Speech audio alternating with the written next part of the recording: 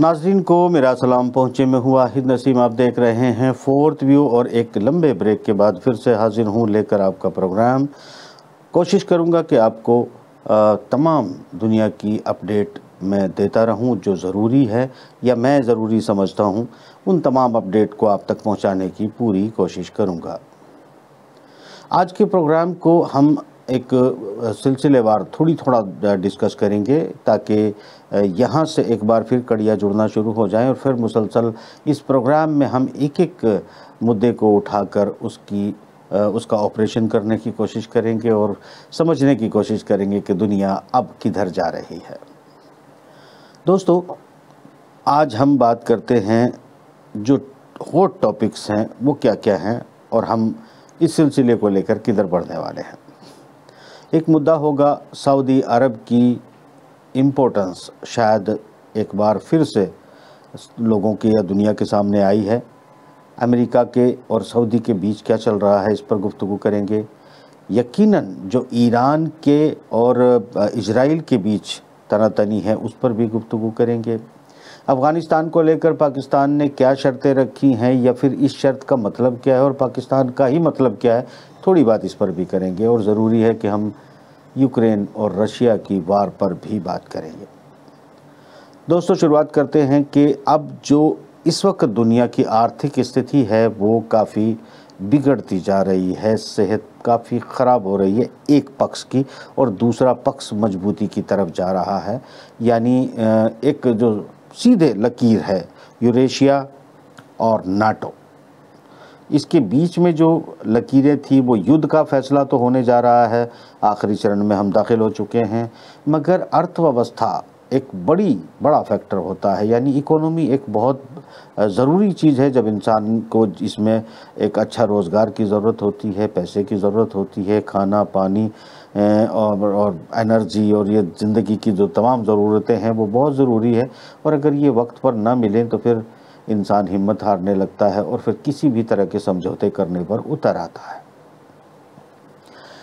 ये तमाम जज्बात, ये तमाम चीज़ें, हम ज़रूर बात करेंगे कि ये तमाम जज्बाती जो राष्ट्रवाद, नेशनलवाद, नाटोवाद और ये दुनिया भर के वाद और फिर यूरेशियावाद होगा, एशियावाद, ये सब वाद वाद पर भी हम ज़रूर बात करेंगे क्योंकि ज़रूरी है कि सच बोला जाए, भले ही कितना भी कड़वा हो। शुरुआत कर लेते हैं कि सऊदी अरब में जो बाइडन की, जो आमद हुई थी और जो उनके सफारत खानों के बीच में भी जो कुछ बातचीत हुई थी, पेपर लीक्स हुए हैं उन पेपर लीक्स में। जो पेंटागन्स के पेपर लीक्स हैं, उसमें बात सामने आई है कि जो बाइडन को crown prince Mohammed bin Salman ने सीधे धमकी दी थी कि मैं तुम्हारी अर्थव्यवस्था को उड़ा दूँगा। इससे ये पता चलता है, यानी क्राउन प्रिंस ने उसका फ़ोन नहीं उठाया, फिर हाथ मिलाने के बजाय उसे टच टच बच्चों के साथ जो खेला जाता है टॉफ़ी लेके ऐसे हाथ मिलाते हैं और फिर यूँ खोलते हैं तो टॉफ़ी बच्चों को देते हैं। उस तरह बाइडन के साथ बिहेव किया एक नव युवक crown prince Mohammed bin Salman ने। एक अमेरिका के लगभग सबसे मतलब अड़प्पा मोहनजोदड़ों की खुदाई में निकले जो बाइडन उसके साथ जो बिहेव किया था। तो आप समझ सकते हैं कि वो सिर्फ़ हवा, हवाई नहीं था, जज्बात नहीं था, उन्हें अपनी ताकत स्ट्रेंथ का अंदाज़ा था। और जिस स्ट्रेंथ को मतलब मैं बिल्कुल बाद में इस प्रोग्राम के डिस्कस करूँगा कि असल वो स्ट्रेंथ क्या है और दुनिया में उसके मायने क्या हैं, क्योंकि हवा, हवाई और ये तमाम जो हवा, हवाई की भी बात करेंगे मिस हवा ट्वेंटी की भी बात करेंगे, या मिस्टर हवा ट्वेंटी की भी बात करेंगे। हम सऊदी अरब के इस मामले को आगे बढ़ाते हैं तो आज जो कॉलम निगार हैं अमेरिका के, वो लिखने लगे हैं कि सऊदी अरब एक बेहतर दोस्त हो सकता है हम अमेरिका का, और अमेरिका को सऊदी अरब के साथ बात करनी चाहिए, जबकि अभी जो लेटेस्ट मुलाकात हुई है सऊदी अरब की और अमेरिका के बीच में बातचीत हुई है, उसमें भी बिल्कुल किनारा कसी करते हुए, एक तरह से धुतकारते हुए अमेरिका के साथ बिहेव किया है सऊदी अरब ने। ये स्थिति है, ये क्या है? आप सऊदी अरब के इस बिहेव को या मोहम्मद बिन सलमान यानी क्राउन प्रिंस के इस एटीट्यूड को आप कैसे देखते हैं? आपको ये देखना चाहिए कि ये एटीट्यूड जो है, ये बताता है कि सऊदी अरब के अंदर राजकाज और डिप्लोमेसी की कितनी ज़्यादा समझ है और मौसम, यानी मौसम विभाग की जो पूर्व सूचना होती है, उसके रूप में भी आपको देख लेना चाहिए कि पूरे वेस्टर्न जगत को खड़ा करने वाला, वेस्टर्न दुनिया को आगे ले जाने वाला जो एक देश सऊदी अरब है। यानी सऊदी अरब की अगर हम जो मौसम विभाग की भविष्यवाणी है, वो इस बात इस नज़रिए से देख सकते हैं कि यानी पश्चिम का वक्त ख़त्म हुआ, जबकि पश्चिमी जगत को फाइनेंस देने की पश्चिमी जगत को अमेरिका, ब्रिटेन, इन तमाम देशों में, इनकी कंपनियों में कुछ डायरेक्ट, कुछ इनडायरेक्ट रूप से जो सऊदी शाही ख़ानदानों का इन्वेस्टमेंट है, उसके बारे में अभी खुलासे नहीं हुए हैं। और अगर Mohammed bin Salman crown prince रू ये अमेरिका को धमकी देता है कि तुम्हारी अर्थव्यवस्था को उड़ा दूँगा तो इसका मतलब लोगों को अभी थोड़ा देर में समझ आएगा। मगर ये सही है कि 50 प्रतिशत से ज़्यादा दुनिया की जो वेल्थ है, यानी करेंसी है, जो नोट हैं, या उनके, उनको किसी भी एंगल से अगर आप देखेंगे तो वो सऊदी के 300 से कुछ प्लस लोग हैं जिनके पास वो मौजूद है, और वो दुनिया में अर्थव्यवस्था को दाएँ बाएँ करने की सलाहियत रखते हैं, हिम्मत भी जुटाना शुरू कर चुके हैं। इसके आगे आने वाली दुनिया पर क्या असरात होंगे, बहुत इम्पोर्टेंट है इसे देखना और ये हमें सब कुछ देखने को मिलेगा। इसमें, इसकी अहमियत को मैं बिल्कुल आखिर में किसी एक सब्जेक्ट के साथ कनेक्ट करके आपको ज़रूर कहूँगा, जहाँ मैंने राष्ट्रवाद या वाद को जोड़ा है और लोगों को बेवकूफ़ बनाने के जो धंधे दुनिया में चलते हैं, आखिर वो कैसे होते हैं और दुनिया इन तमाम चीज़ों को किस एंगल से समझती है, ये भी ज़रूरी है। इसमें मेरे नज़रिए की शमूलियत होगी। हम आगे आ जाते हैं ईरान इसराइल के मामले को लेके। ईरान ने जो अपनी हाइपरसोनिक मिज़ाइल का टेस्ट किया है बाकायदा, उसको अपने शहरों के अंदर पोस्टर लगाकर ये क्लियर कर दिया है कि 400 सेकंड दूर है इसराइल और कभी भी हम इसको 400 सेकंड दूर का इस्तेमाल कर सकते हैं। इसका मतलब साफ़ समझ में आता है। ये सही बात है कि अभी इसराइल जो दुनिया में अपने आप को सुपर पावर बताने की कोशिश कर रहा था और साइकोलॉजिकल गेम खेलता था क्योंकि जो जिस तरीके से सत्ताधारियों को या तीन चार एंगल होते हैं, उनको कैप्चर किया जाता है और उनको पहले उनके मुँह से इस तरह की बातें निकलवा कर अपना रोब जमाया जाता है। ब्रिटेन ने बहुत ज़्यादा लंबी लड़ाइयाँ लड़ के या फिर जो है उसने ताकत के अपनी खुद की ताकत के दम पे दुनिया पे कब्ज़ा किया था, ऐसा नहीं था। इसी सब कुछ से कनेक्ट करके मैं सऊदी की वेल्थ का मतलब भी बताने की कोशिश करूँगा। मगर अभी जो ईरान ने एक अपना प्रभुत्व कायम कर लिया है और अब दहशत में है इसराइल और अपनी दहशत को झटकने के लिए कभी गाज़ा पर, कभी आसपास के देशों पर वो जो उसका जो झड़प है, वो वो जारी है, वो हमले जारी है, वो बंद करने का मतलब है कि इसराइल इस वक्त अगर वो अपनी इस तरह की एक्टिविटी को बंद करता है तो उसका ये मतलब माना जाएगा कि इसराइल दुनिया के हालात से डर गया है और उसकी अपनी जनता या उसके अपने जो लोग उसको मदद करते हैं, शायद वो बंद कर दें और जनता डर कर अपना देश छोड़ना शुरू ना कर दे। उनकी हिम्मत बंधाए रखने के लिए ज़रूरी है कि इस तरह का ड्रामा भी चलता रहे। यकीनन, उनके लिए एक ड्रामा है, मगर कुछ मजलूमों की, मासूमों की ज़िंदगियाँ इसमें जा रही हैं और जाती रहेंगी अभी जब तक इसका फ़ैसला ना हो जाए। तो सूरत हाल इसराइल और ईरान की कुछ इस तरह से है कि अभी वक्त है, मगर वो वक्त भी आने वाला है। अगर ये अपनी जगह पर डटे रहते हैं तो फिर बहुत कुछ आने वाला है, क्योंकि इस खत्े को हासिल करने की जो अमेरिका ने कोशिश की है कि किसी तरीके से एक बार फिर से सऊदी अरब को अपने साथ मिलाकर दुनिया में वेल्थ की डोमिनेशन को कायम किया जाए, क्योंकि अर्थव्यवस्थाएँ गिर रही हैं, ट्रेजरी बॉन्ड की अगर चाइना ने और कई देशों ने सेल करना शुरू कर दिया तो अर्थ अर्थव्यवस्था का क्या होगा, जिसमें सऊदी भी शामिल है? अमेरिका अपने आर्थिक हालात से डरा हुआ है, क्योंकि एक बहुत चीज़ स्पष्ट हो गई है जिसमें जो वेस्टर्न जगत के राइटर्स भी हैं, वो ये तस्लीम करना शुरू कर चुके हैं कि जो एक एकल पावर के तौर पर अमेरिका दुनिया में मौजूद था, वो सिलसिला ख़त्म हो चुका है और अब जो मल्ट इसको बहुध्रुवी है, अगर दुनिया को हम देखते हैं तो एशिया की तरफ़ ये पहिया घूम चुका है और चाइना और रशिया मिलकर इसको बनाने और बढ़ाने में कामयाब हो रहे हैं। ये एक वाज हो चुका है तो किसी भी तरीके की आखिरी कोशिश में आ, मेरे ख्याल से अमेरिका डायरेक्ट अब किसी से युद्ध करने की स्थिति में बचा नहीं है। इसकी वजह समझ लें फिर हम पाकिस्तान और दूसरे इलाकों में भी आते हैं। हमने कई बार लिखा भी है और कहा भी है। वेस्टर्न जगत के पास जितने हथियार थे, वो सब यूक्रेन को कुछ ज़ाहिरी तौर पर, कुछ अदृश्य तौर पर दिए जा चुके हैं, मगर वो तमाम हथियार नाकारा साबित हुए हैं। और जब आखिरी आखिरी हमले की जो पिछले हफ़्ते से शुरू हो गया था, जिसको जेलेंस की भी तस्लीम कर चुका था, वो हमला जो है, वो रशिया के ख़िलाफ़ हो चुका है और नाकाम भी हो चुका है। उसको उड़ा दिया गया है ब्रिटेन के टैंकों को जर्मनी के टैंकों को और जो ब्रेडली करके अमेरिका ने नई कुछ गाड़ियाँ भेजी, कुछ उनकी जेवलिन, उनके थाड, उनके, ये तमाम जितने हथियार उनके पास दुनिया में बेच कर अपनी रोटी कमाने का धंधा था, वो सारा धंधा यूक्रेन ब्लैक होल उनके लिए साबित हुआ और रशिया ने उनको ब्लैक होल में गायब कर दिया। और अभी उनके पास एयरक्राफ्ट बचे हैं।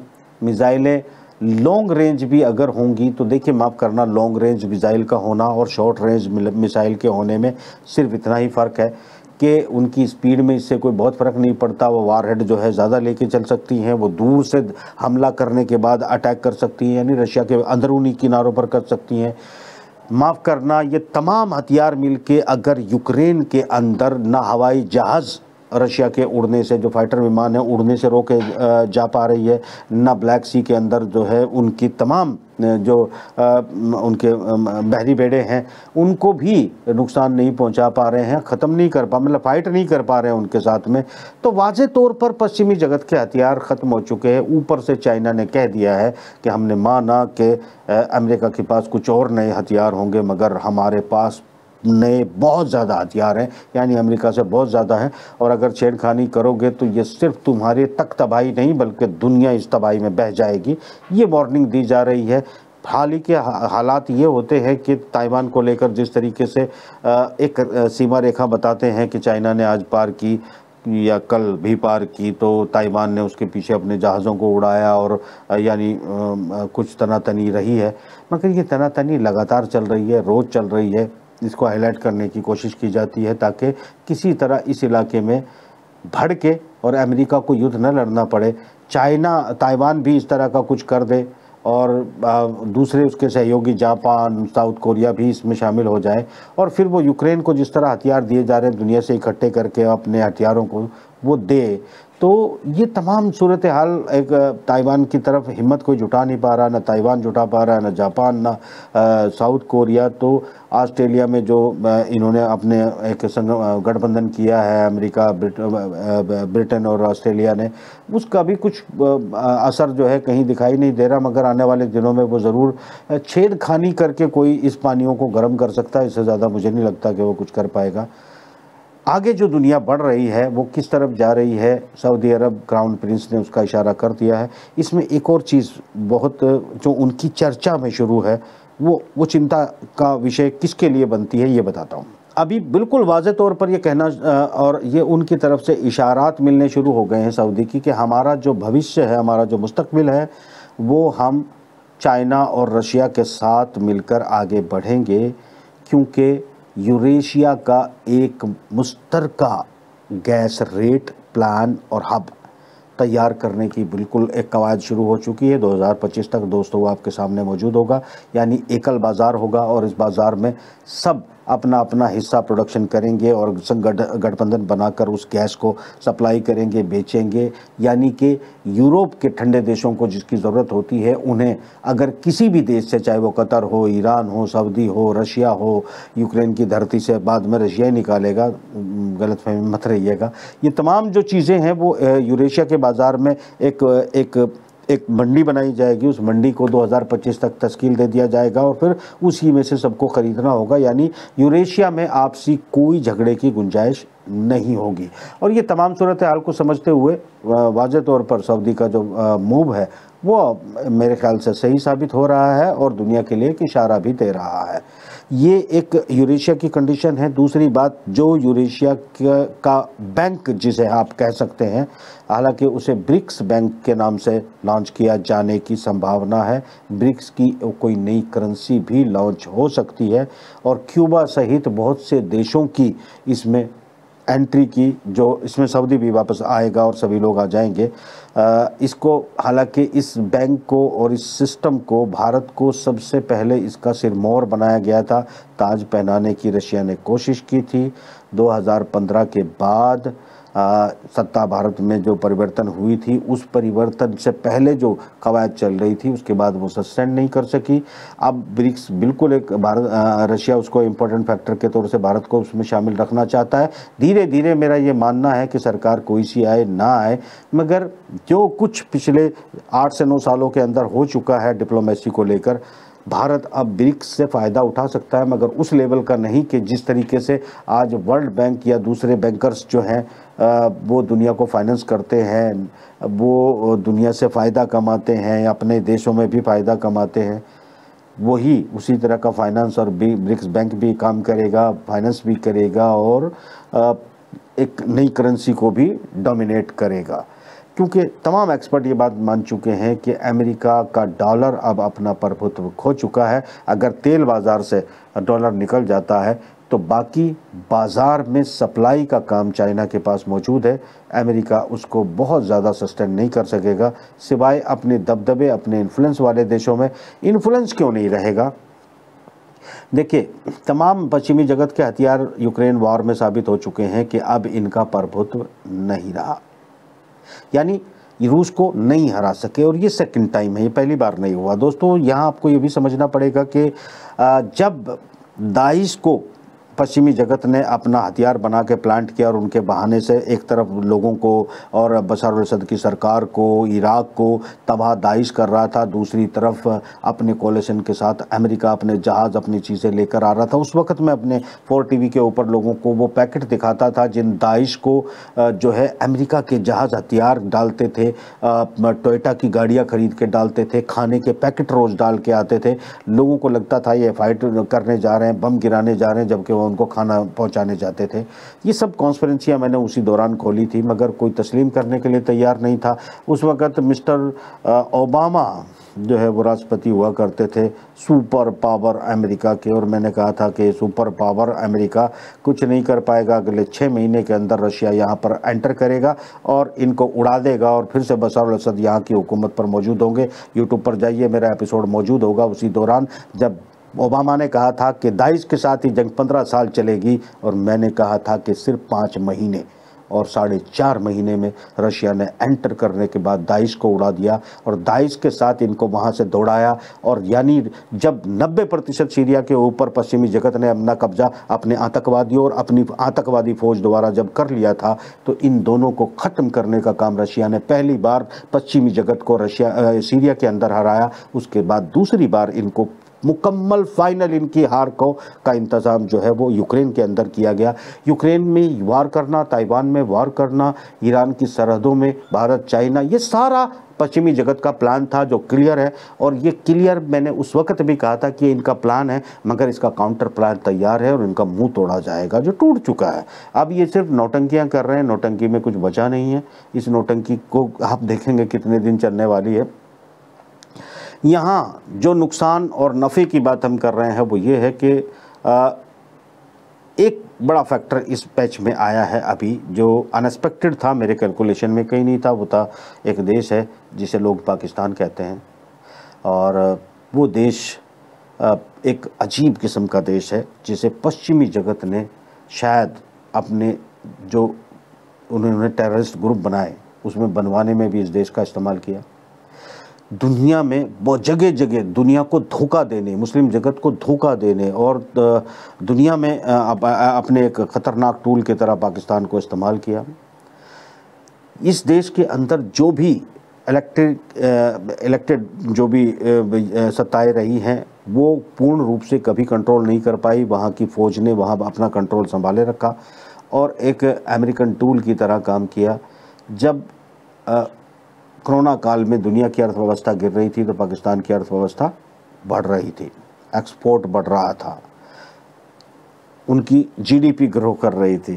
सिर्फ़ दस महीने के अंदर उसकी ईंट से ईंट बजा दी और कंगाल कर दिया। भीख मांगते घूम रहे हैं पाकिस्तान के लोग, मगर फौज उस देश के लोगों को आज़ाद करने के लिए तैयार नहीं है। करेगी भी नहीं। क्योंकि अमेरिका के पास एक आखिरी हथियार, अमेरिका और ब्रिटेन दोनों को मैं कंबाइन मानता हूँ। मैं नाम ब्रिटेन का लूँ तो भी अमेरिका इन्वॉल्व होता है और अमेरिका का नाम लूँ तो ब्रिटेन इन्वॉल्व होता है। तो समझ लिया करें कि मैं दोनों को ही कह रहा हूँ। तो इनके पास एक टूल के तौर पर अगर कोई है तो पाकिस्तान की फ़ौज है और पाकिस्तान की फ़ौज के पास जो है 24 करोड़ जनता है। माफ़ करना 24 करोड़ जनता के पास फ़ौज और राष्ट्रपति या प्रधानमंत्री नहीं होता। वहाँ के राष्ट्रपति प्लांटेड राष्ट्रपति या प्रधानमंत्री के पास वहाँ की मालिक फ़ौज के पास 24 करोड़ भेड़ बकरियों का एक झुंड है।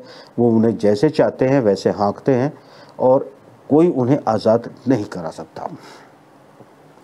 एक सीधा पैगाम यहाँ दे के चलता हूँ अपने कश्मीरी भाइयों के लिए कि आप लोगों को उकसाकर गलत दिशाओं में ले जाने का काम पाकिस्तान की फ़ौज ने जो किया है, वो अमेरिका के कहने पर, अमेरिका के प्लांटेशन अमेरिका के मिशन के ऊपर किया। चूँकि भारत रशिया का दोस्त है और हमारे तमाम, पहले सत्तर अस्सी परसेंट तक हथियार और तमाम डिप्लोमेसी हमारी रशिया के साथ पहले बोला है शब्द, अब भी पहले ही बोलूँगा। माफ़ करना, मैं जहाँ से वहाँ से मैं आने वाला पत्रकार हूँ नहीं। तो पहले जो हमारे संबंध थे रशिया के साथ में, उसको काउंटर करने के लिए पाकिस्तान को मनोवैज्ञानिक तौर पर, फौजी के तौर पर इस्तेमाल किया और उसके बाद अपनी डिप्लोमेसी को भारत में प्लांट करने या दबदबा बनाने में अमेरिका ने इसका यूज़ किया, जो कि वो सफल भी रहा। आगे क्या होता है? बाद की बात है, क्या ज़रूरत है अभी खोलने की? अपनी आँखों से जो देखोगे, वही बेटर है। इस पर मैं ज़्यादा बोलना नहीं चाहूँगा, क्योंकि आपके टॉलरेंट की पावर ख़त्म हो चुकी है। और जब किसी की टॉलरेंट की पावर ख़त्म हो जाए तो उसे सलाह नहीं दी जाती। आगे बढ़ते हैं।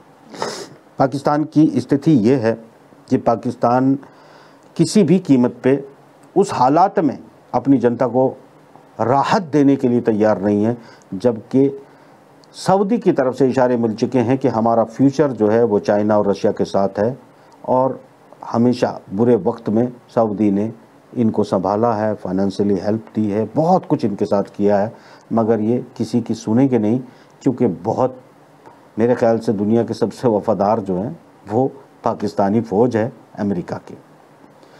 लोग इन सब चीज़ों को लेकर ना बड़े, मेरे ख्याल से बहुत मुद्दे रह गए हैं। अगले प्रोग्राम में कल इंशाल्लाह इनकी डिस्कस करेंगे, मगर वो बात ज़रूरी है जो अभी करनी है। वो मैं आपको ये बताता चलूँ कि ये जो फौज बोझ होती है, जो पाकिस्तान में चल रहा है, ये होता क्या है? याद करो दोस्तों, जब ये देश जो है भारत हुआ करता था, जिसमें पाकिस्तान भी शामिल था, बांग्लादेश भी शामिल था, और हम अंग्रेज़ों के ग़ुलाम थे। बात फ़र्स्ट वर्ल्ड वॉर की है। फ़र्स्ट वर्ल्ड वॉर में भारत में जो इन ब्रिटिश फ़ौज में भारतीय नागरिक शामिल थे, जो नौकरी करते थे, वो नौकरी करने के लिए जर्मनी के ख़िलाफ़ लड़ने के लिए फ़र्स्ट वर्ल्ड वॉर में जाते हैं, और उनको उनको वो जो उसमें हिस्सा लेते हैं फ़र्स्ट वर्ल्ड वॉर में, और उनको हिस्सा लेने के बाद या सेकेंड वर्ल्ड वॉर में भी जिन लोगों ने ब्रिटिश आर्मी की तरफ़ से हिस्सा लिया, उन लोगों को भी अवार्ड दिए गए, सम्मान दिया गया, और सम्मान देने के बाद आज भी भारत में उन्हें सम्मानित नज़र से देखा जाता है। और गेट ऑफ़ इंडिया पे भी नाम लिखे हैं। ये सब आपका मनोवैज्ञानिक जो ब्रेन वॉश है, यानी वो फ़ौज किसकी थी? जिनके हम गुलाम थे। वो फौजी कौन थे? वो भारतीय थे। वो भारतीय थे या विदेशी थे? लड़े किसके तरफ़ से थे? जो हमारे दुश्मन थे, जिन्होंने हमें ग़ुलाम बना के रखा था। मगर आप उसका सम्मान करने के लिए मजबूर हैं, क्योंकि वो फ़ौजी थे। उनको नाम फ़ौजी दिया गया था। दुनिया में जो मैंने कहा था कि जो करेंसी का खेल होता है ना दोस्तों सऊदी अरब के सामने आज अमेरिका घुटने, क्या कुछ और भी टेकने के लिए तैयार है? वो इसलिए क्योंकि अमेरिका के पीछे जो फाइनेंस मैनुपलेट करने वाले लोग जो एक हमारे मित्र के टारगेट पे हैं, वो उनको वहीं पहुंचाएगा जहाँ से वो आए थे। तो वो वो उनका प्रभुत्व ख़त्म हो रहा है और सऊदी के पास वेल्थ है और सऊदी के दोस्तों के पास बहुत वेल्थ है और बिना पैसे के कुछ नहीं होता। ये जो फ़ौज होती है, जिस तरह first world war second world war की मैं बात कर रहा हूँ या मैं पाकिस्तान का ज़िक्र कर रहा हूँ, इनको पैसा, ये लोग जो है देशभक्ति के लिए नौकरी करने नहीं जाते हैं। ये लोग तुम्हारे हिंदुस्तान को आज़ाद करने के लिए फ्रीडम फाइटर बन के नहीं पहुँचे थे वहाँ पर। या पाकिस्तान की को आज़ाद करने के लिए पाकिस्तान की फ़ौज नहीं जो है वो अपने ही लोगों को जेल में डाल के और अपनी ही बहू बेटियों को बेहरमत करके, उनकी वीडियो बना के, उनको नंगे वीडियो बना बना के उनको जो उनको बाकायदा डरा रही है, ब्लैकमेल कर रही है। ये उनकी देशभक्ति का नमूना नहीं है माफ़ करना। वहाँ लोग पैसे के लिए नौकरी करने जाते हैं और नौकरी करने वाला, देने वाला मालिक उनको जो कुछ बोलता है, उनको सिर्फ़ ऑर्डर सुनना होता है, पैसों के बदले ये कड़वी सच्चाई तुम नहीं मानोगे, मगर इमोशनली तुमको ब्लैकमेल किया जाता है, तुम्हें वाद में लाया जाता है और वाद में फंसाकर तुम्हारा भेड़ बकरियों की तरह इस्तेमाल किया जाता है। खेल पैसे का है, अगर सब जगह से पैसा हटा दो तो ना कोई भगती रहेगी, ना कोई वाद रहेगा ना कोई सिस्टम रहेगा। ये सारा खेल पैसा और पैसे वालों का है और आम इंसान की मानसिकता है कि लोग अगर पैसा उनके पास ना भी आ रहा हो किसी और के पास भर भर के जा रहा हो तो उसे देखने के लिए दुनिया खड़ी हो जाती है। ये एक ऐसा मैग्नेट है इसे इनकार नहीं किया जा सकता। सबूत एक छोटा सा एग्ज़ाम्पल दूँगा डिटेल में ज़रूर इस पर बहुत कुछ बाकी है ज़रूर इसका आ, मैं संधि विच्छेद करूँगा। एक प्रोग्राम आता था इस देश में कौन बनेगा करोड़पति। तो करोड़पति कौन बनेगा? इसके लिए पूरा देश बंद हो जाता है। खाना पीना बंद करके टेलीविज़न के सामने बैठ जाते हैं। उनके उनकी जेब में एक रुपया आने वाला नहीं है मगर उन्हें देखना है कि कौन करोड़पति बनेगा। ये मैग्नेट है पैसे का। ये पागल है इंसान पैसे के पीछे। और पैसे के पीछे इसे आप, आप पैसे दे के आतंकवादी कहो या इसे फौजी कहो ये सब कुछ करने के बाद आप जहाँ चाहे इसका इस्तेमाल कर सकते हो जिस तरह पाकिस्तान में बाकायदा पाकिस्तान का फो, फौजियों का इस्तेमाल अमेरिका कर रहा है और जिस तरह फ़र्स्ट वर्ल्ड वॉर और सेकेंड वर्ल्ड वॉर में भारतीय नागरिकों को नौकरी देकर उनका भारत के खिलाफ, यानी यार ये हम हम तो गुलाम थे ना भाई, वो हमारे कैसे हो सकते हैं? हम उनको राजा थोड़ी मानते ना हम कल मानते थे, ना हम आज मानते हैं। हम तो कल भी बागी थे, हम तो आज भी बागी हैं। तो बेसिकली वो बाद में मगर, चूँकि हम बड़े बड़े बुद्धिजीवी चेहरे तुम्हारे सामने लाए जाते हैं बड़े बड़े चश्मे लगाए जाते हैं, फिर उनकी तारीफ़ करके उनको बुद्धिजीवी कहा जाता है, उनके उनके लेख को तुम पढ़ लेते हो, क्योंकि उनका भी पहले तुम्हारे अंदर प्लांटेशन की जाती है, तुम्हारी भूमिका बनाकर बताया जाता है, ये बड़े महान हैं। और फिर तुम उनको महान मान लेते हो। और महान मानने के बाद उसकी हर बात को मानना शुरू कर देते हो। इस कड़वी सच्चाई से तुम मुँह मोड़ोगे, मगर ये सच है, मुँह मोड़ने की ज़रूरत नहीं है। अगले प्रोग्राम के इंतज़ार करने की ज़रूरत है। इन बड़ी ख़बरों के साथ फिर से इस पूरे प्रोसेस को कंटिन्यू करेंगे और फिर एक एक बात को डिटेल में एग्ज़ाम्पल के साथ आपके साथ गुफ्तु करूँगा। फ़िलहाल इजाज़त दें। खुदा हाफिज़।